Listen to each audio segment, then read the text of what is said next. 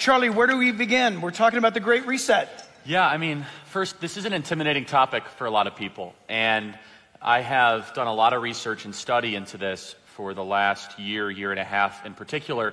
And it's intimidating because when you just read the website of the people that are trying to execute the Great Reset, you feel like you're reading a conspiracy theory. And I think that's actually part of the strategy yes. is that they lead with the stuff that you won't even believe. And then they're able to say like, oh, it's not even a conspiracy theory because there is no way that it could actually be real. Um, and this is affecting all of our lives in more ways than one. And, you know, Jack, you and I were texting back and forth, I think, right near our Turning Point USA America Fest, right near Christmas. And I said, Jack, I really want to do something special when I come back, you know, to your amazing church. And you had the idea to talk about the Great Reset and to dive into it because it can be really complex, but it doesn't have to be. And the, the, the way I want to start, though, Jack, is to kind of frame the players that are behind this. So we've all heard the term globalists. Uh, these are people that do not believe in the sovereignty of nations. Uh, these are people that don't believe in borders. They don't believe there should be any difference between America or Brazil or Sierra Leone, that the world needs to come together in a borderless society. Jack, you're going to go into depth of what, how the scriptures actually you know, prophesy yep. this uh, in amazing detail. So the globalists, they look at themselves as trying to microengineer your behavior, the world, your decisions, and in particular, let's just be blunt, they want to play God because they don't believe in God.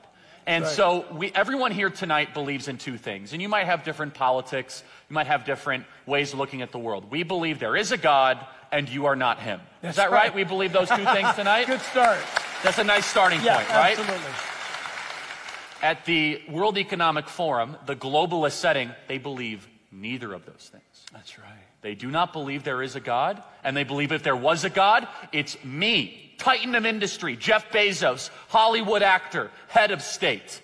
So that's a huge difference, right? So we start from a philosophical approach of one of humility and one that is waiting for God's grace to come down to us. They look at one as one of will.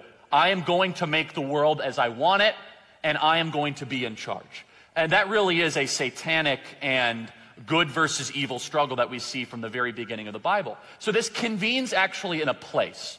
So every winter, uh, the richest people on the planet, heads of state, actors, they meet in Switzerland in a town called Davos. You've probably heard of this before. Uh, usually they'll do kind of market commentary from Davos, Switzerland, uh, right near the border of Liechtenstein. Really nice, you know, beautiful area if you guys ever visit it. Um, less important about where it is, but more important what actually happens there. Um, for the last couple years, they've really become more and more organized and they've become more vocal and more clear about the world that they are trying to usher in. Um, and they were kind of always struggling and wrestling. You go back to look at the tapes of 2017, 2018, 2019, before the Chinese coronavirus, they were really, they were unable to make the argument of the bridge.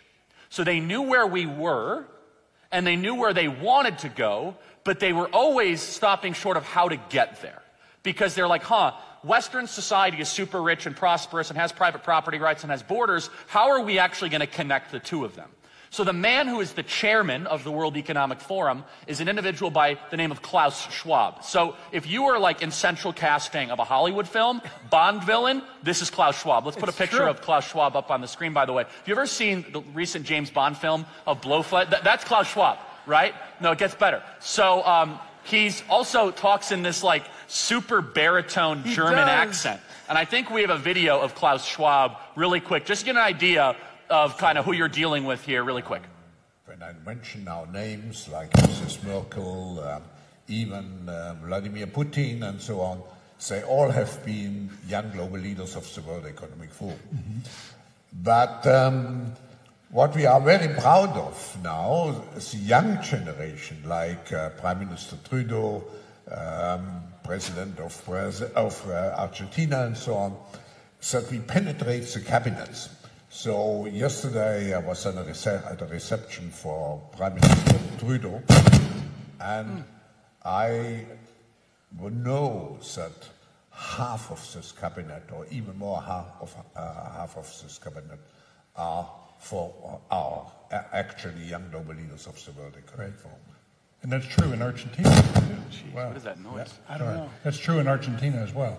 It's true in Argentina and uh, it's true in France now. I mean, with the president, with the young global leader. Okay, you guys. So, that's but good. let me translate. I know it's like this understated thing. What he's saying there, he's openly admitting. I know it could be hard to understand the, you know, English German, you know, accent. He's openly admitting the World Economic Forum has taken over entire governments.